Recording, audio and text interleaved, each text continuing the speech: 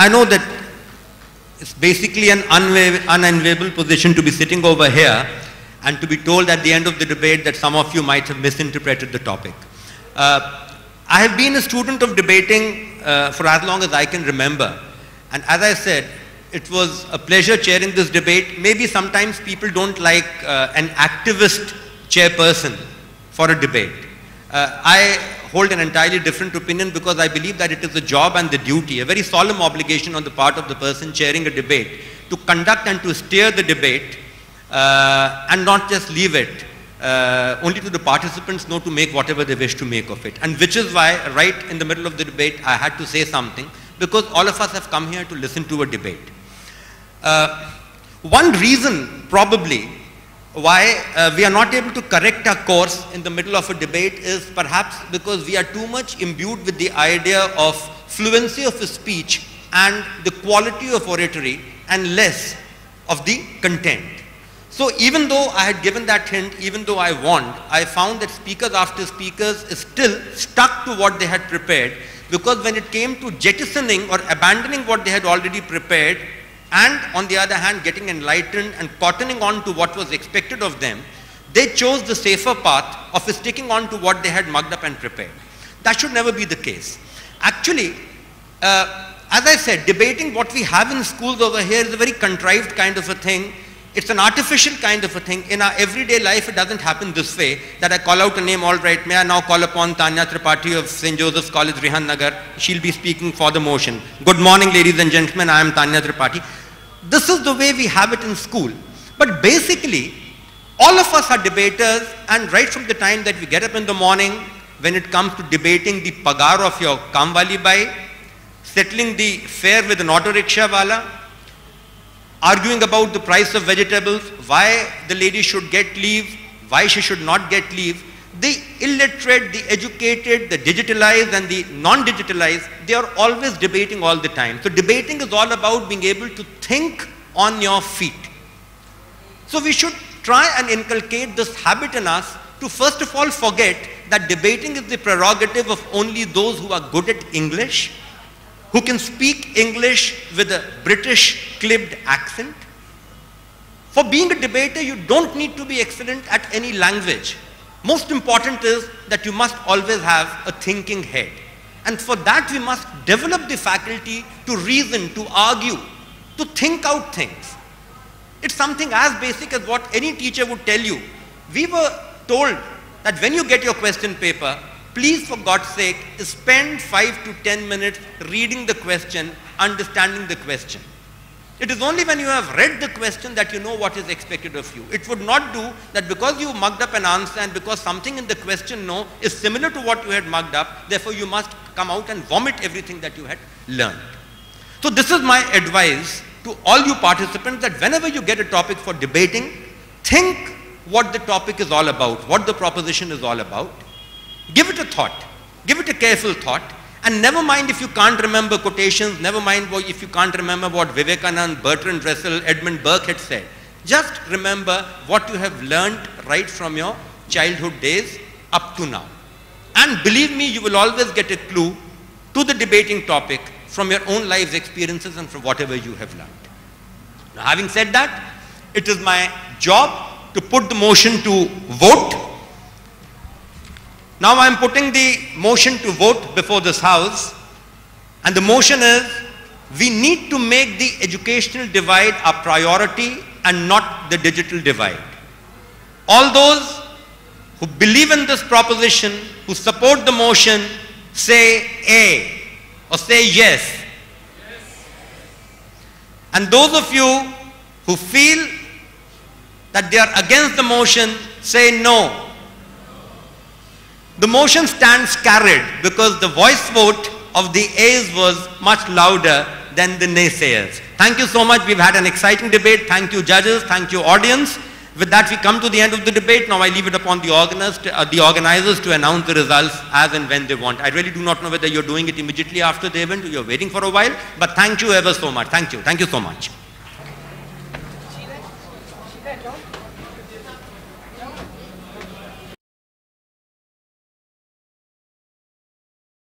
हैं, विद्यमान हैं उन सबका हार्दिक अभिनंदन और स्वागत। मैं अपना परिचय देना भूल गया था इसके पहले तो अब दिए देता हूँ। मेरा नाम श्यामल नारायण है और सर्वप्रथम मैंने इस विद्यालय में पदार्पण किया था सन उन्नीस सौ उनहत्तर में। अपनी स्वर्गीय माता जी की उंगली पकड़ करके यहाँ पे आया था, उसके बाद से उन्होंने उंगली थमा दी यहाँ के। शिक्षक, शिक्षिकाओं, अध्यापक, अध्यापिकाओं के हाथ में और जितना कुछ भी सीख पाया, बन पाया अच्छा बुरा, जैसा भी हूँ उसका दायित्व जितना मेरे ऊपर है, उतना ही उनके ऊपर भी है। तो इसलिए मेरी अच्छाइयाँ, मेरी बुराइयाँ, मेरी खराबियाँ, वो सब कुछ साझा है। अभी अभी हमको बताया गया कि हम अपने समय से थोड़ा सा पीछे चल रहे हैं तो मेरा प्रयास होगा कि बिना इस कार्यक्रम की मनोरंजकता को कम किए, बिना उसको मलिन किए, फिर भी समय का हम ध्यान रखें। हिंदी में मैं इसलिए बोल रहा हूँ क्योंकि अगला कार्यक्रम जो आपके समक्ष आने जा रहा है, इसे हम क्षणिका के नाम से जानते हैं और एक दफ़ा फिर पूरे प्रबंधन को साधुवाद, धन्यवाद कि उन्होंने हमें यह अवसर दिया क्योंकि इसके पहले केवल इंग्लिश जैम होता था और हिंदी क्षणिका जो है वो केवल उसका विशुद्ध हिंदी संस्करण है। और हमारे उस सुझाव को आपने माना और पिछले दो वर्षों से यहाँ पे हिंदी क्षणिका की प्रतियोगिता भी आयोजित हो रही है, ये खेल आयोजित हो रहा है। इसके लिए आप सभी साधुवाद और धन्यवाद के पात्र हैं। तो जैसा मैंने हमेशा कहा है कि सबसे उबाऊ अंश होता है क्षणिका प्रतियोगिता का, जो इसके नियम हैं, जो इसकी वर्जनाएँ हैं, उनके बारे में आपको अवगत करा देना, लेकिन क्योंकि वो आवश्यक है, इसलिए शीघ्र अतिशीघ्र मैं सारे नियमों से आपको अवगत करा देता हूँ। सारे जितने यहाँ प्रतिभागी बैठे हैं, मैं एक बार वो सारे नियमों से आपको परिचित करा देता हूँ। चूँकि ये हिंदी क्षण का प्रतियोगिता है, इसलिए यहाँ पे वार्तालाप, जितने भी प्रलाप, जितने भी बातचीत होएगी, उसका माध्यम केवल और केवल हिंदी होगा। हिंदी से इतर किसी भी अन्य भाषा के शब्दों का प्रयोग सर्वथा वर्जित है। और यदि आप हिंदी से इतर आप जो हैं, अपनी यात्रा करते भी हैं तो आपको ये सुनिश्चित करना पड़ेगा कि जो भी शब्द आपने हिंदी के इतर प्रयोग में ले आया है, जो भी प्रयुक्त शब्द हैं, उसका कोई विकल्प हमारी हिंदी, जैसे कि हम उससे परिचित हैं, उसमें नहीं है। तो ये हिंदी क्षण का है, इसमें केवल और केवल हिंदी के शब्दों का प्रयोग अनुमन्य है। मैं एक विषय दूँगा और विषय किसी भी एक व्यक्ति के साथ आरंभ किया जाएगा। प्रदत्त विषय पर आपको तत्काल बोलना आरंभ करना पड़ेगा और बोलते समय आपको यह ध्यान देना पड़ेगा कि जिन त्रुटियों को मैं अब इंगित करने जा रहा हूँ, जिन त्रुटियों को मैं बताने जा रहा हूँ, वो त्रुटियाँ आपके द्वारा न की जाएँ। वो त्रुटियाँ क्या हैं? प्रदत्त विषय पर आपको तत्काल बोलना आरंभ करना पड़ेगा। मैंने जैसे ही विषय दिया, उसके बाद से मैं अमूमन, अधिकांशतः बोलूँगा, बोलना आरंभ कीजिए। जब मैं कह दूँ बोलना आरंभ कीजिए तो तत्काल उसके बाद आपको विषय पर बोलना आरंभ करना है। विषय पर बोलना है, न कि विषय के विषय पर। प्रथम पाँच सेकंडों में आपको विषय पर आ जाना है।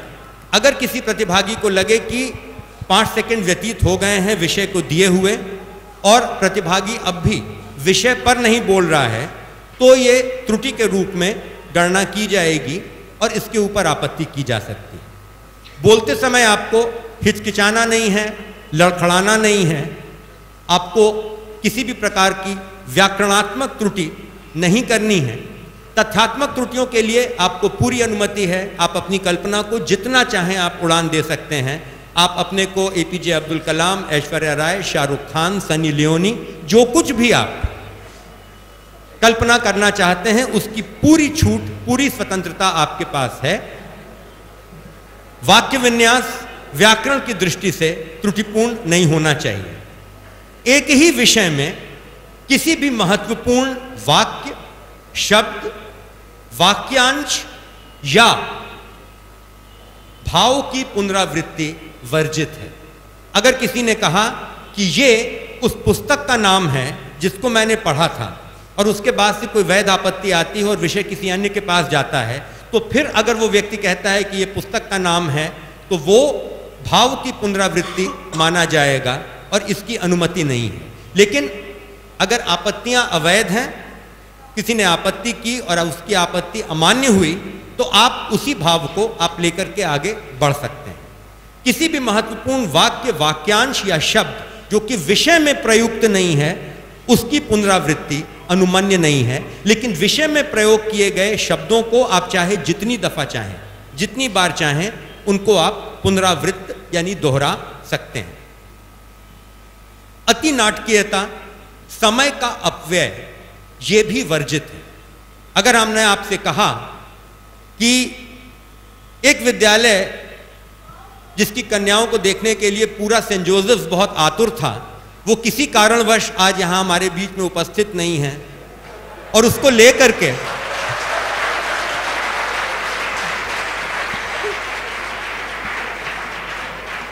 और उसको लेकर के आपके हृदय में हूक उठ रही है तो भी आप ऐसे नहीं कहेंगे, अरे, अगर वो आती तो कितना अच्छा होता।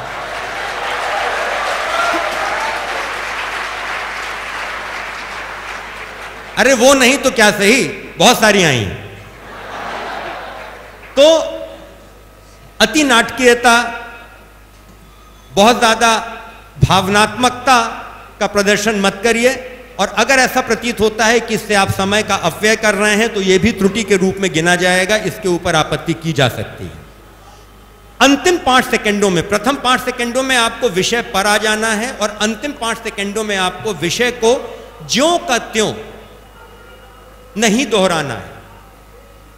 विषय के अंगों को आप प्रयोग में ले आ सकते हैं, लेकिन अंतिम पाँच सेकंड जब बचे हों तो कोई भी प्रतिभागी विषय को ज्यो का त्यों नहीं दोहरा सकता है। हिचकिचाना हो गया, लड़खड़ाना हो गया, व्याकरण दोष हो गए, तथ्यात्मक चीज़ों के हाँ तार्किक दोष भी अनुमन्य नहीं है। तार्किक दोष का मतलब यह कि आपके कथन में आपके वक्तव्य में कोई अंतर विरोध न हो। जैसा कि मैं हमेशा उदाहरण के रूप में मैं कहता हूँ कि यदि आपने अपने को, यदि आपने अपने को एक लड़का मान करके अपना कथन आरंभ किया है तो बीच में आप लड़की नहीं हो सकते हैं, जब तक कि आपने ये नहीं कहा कि आपने कोई लिंग परिवर्तन की शल्य क्रिया भी आपके ऊपर इस बीच में हुई हो। तो तार्किक रूप से आप अपने को ही आप काट नहीं सकते हैं यह तार्किक दोष के रूप में गिना जाएगा। ठीक है?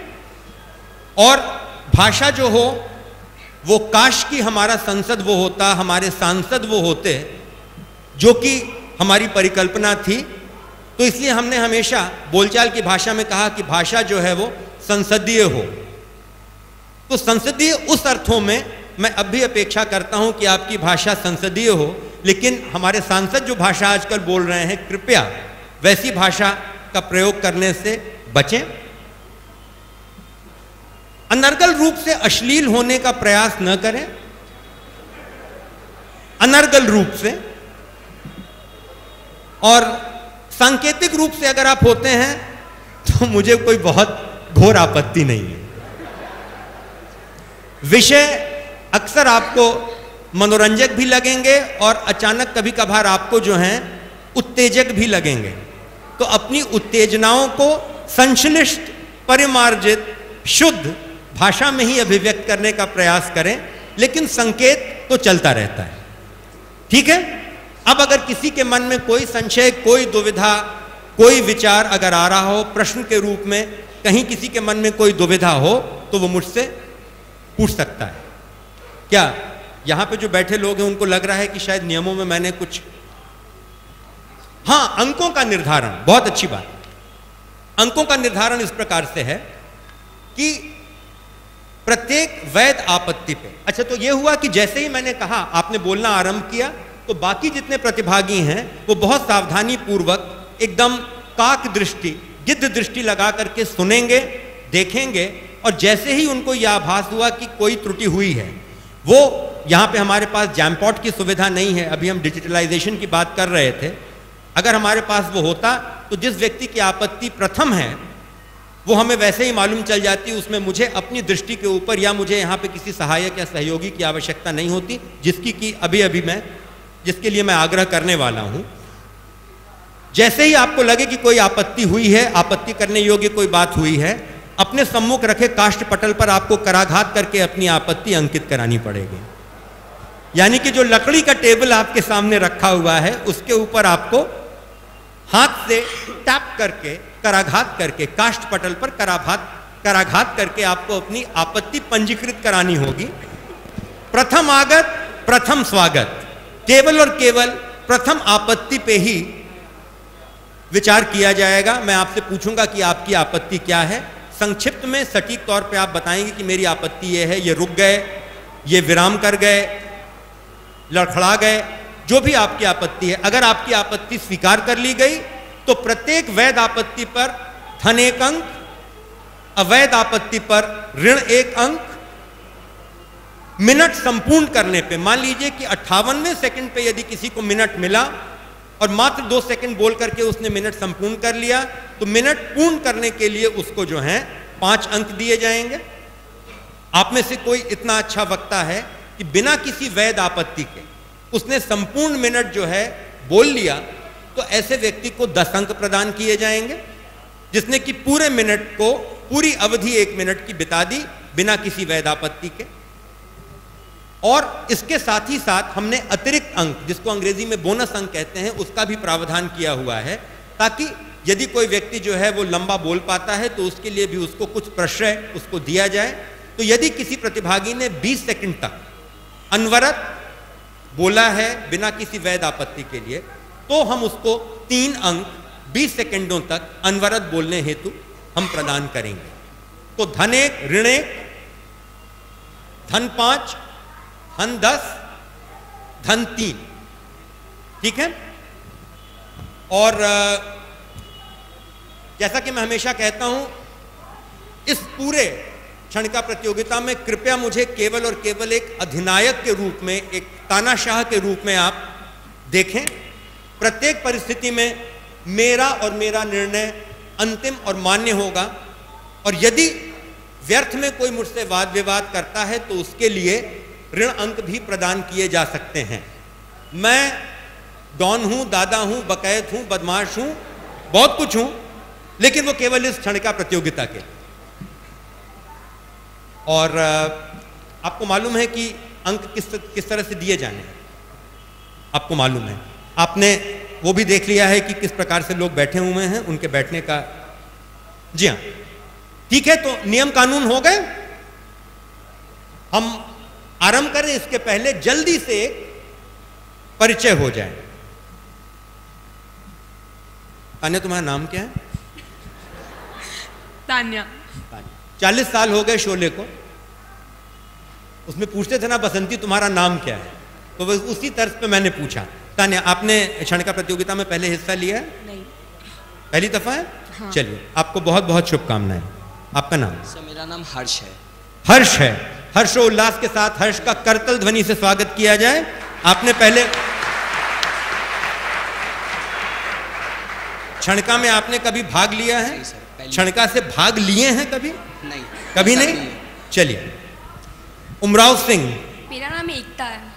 एकता है। अनेकता में एकता या एकता में अनेकता? एकता में। एकता में एकता। हंस रही हैं? चलिए। स्मृति। स्मृति। स्मृति।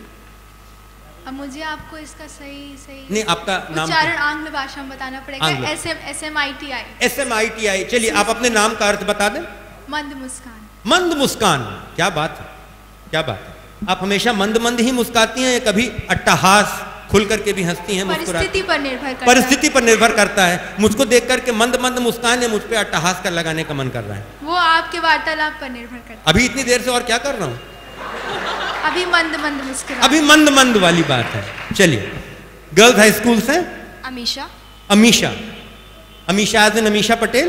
पाठक। अमीशा पाठक। आपने हिस्सा लिया है इसमें पहले कभी? पिछले साल लिया था। पिछले साल लिया था। कैसा लगा था?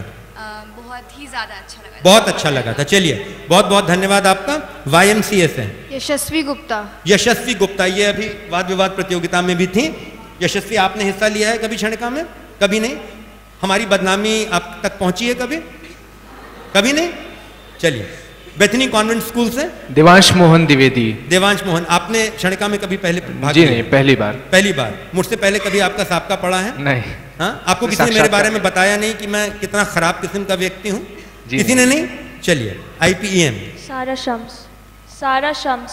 सारा शम्स सारा शम्स आपने क्षणिका में हिस्सा लिया कभी? नहीं पहले कभी नहीं? पहली दफ़ा है? इंग्लिश जाम में लिया है? जी। लिया चलिए इंग्लिश और हिंदी में कोई ज़्यादा फ़र्क नहीं है केवल भाषा का फ़र्क है।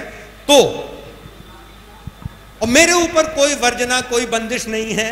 जैसा मैंने कहा कि कभी मेरे विषय सांकेतिक हो सकते हैं कभी एकदम बिंदास। तो कृपया और कृपया इसको केवल एक मनोरंजन के तौर पे लीजिए, ये खेल पहले है, प्रतियोगिता बाद में है। तो हमारा सबका मंतव्य और उद्देश्य केवल एक होना चाहिए कि हम भरसक प्रयास करें कि किस सीमा तक आपका मनोरंजन कर सकें। तैयार है? चलिए। पहला विषय जाता है तान्या जी के पास, और तान्या जी का विषय है आज करवा चौथ है।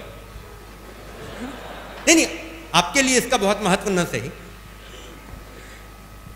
लेकिन मान लीजिए करवा चौथ है और पतिदेव जो हैं वो कहीं दूर हैं तो इसको लेकर के गाना बना था। तो उस गाना ही, वो जो गाने की पहली पंक्ति है, वही आपका विषय है। मेरे पिया गए रंगून, आपका विषय है, मेरे पिया गए रंगून, बोलना